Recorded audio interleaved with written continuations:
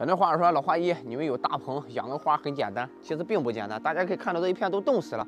另外呢，那边墙角那边呢也是一堆，有一些个冻死的，有些个盆收拾起来的。你像很多的花友呢，咱们今天就给大家简单说什么呢？一个茉莉的事哈。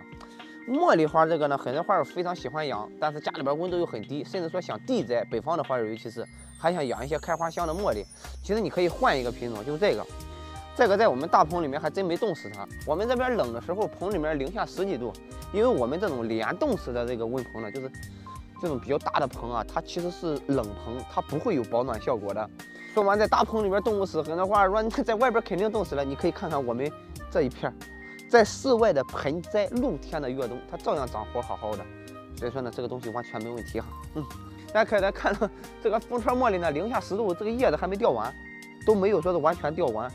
而且呢，这种日照的话，可以说是半日照吧，就是耐阴性还是比较好的，耐寒能力也比较好，而且可以爬墙，开花的时候也是一面花墙的那种效果。